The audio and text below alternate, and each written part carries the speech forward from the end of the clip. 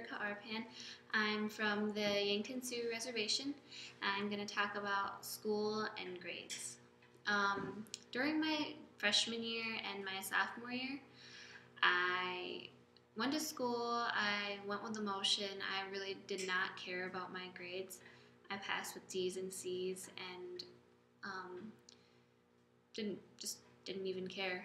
And um, now that I'm a senior, I really regret that decision because, like, applying for school, applying for college, um, you have to meet these certain standards, like with GPA and everything, and that really not caring about my grades my freshman year and getting those low grades, it brought me down, and so I have to. Um, I have to work extra hard to get into college and everything. And so I just want to say um, definitely care about your grades starting out because it'll definitely help you in the long run. It'll help you with scholarships and it'll help you with um, getting into different kinds of schools. And like, if you have good grades, you'll definitely get into a really good school and get a lot of scholarships.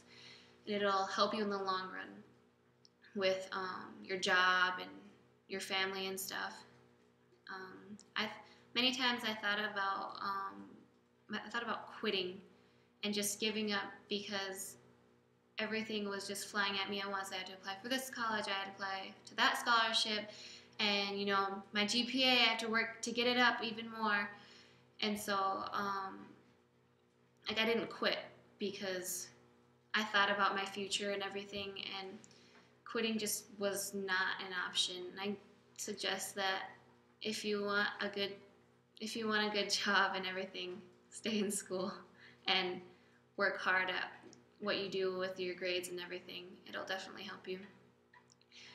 And if quitting comes to your mind, I just I, I suggest you talk to your counselor, your parents, or something because it will help you realize that quitting and not doing anything is not good and having a good job and get having that schooling, that education will be the better choice to go with.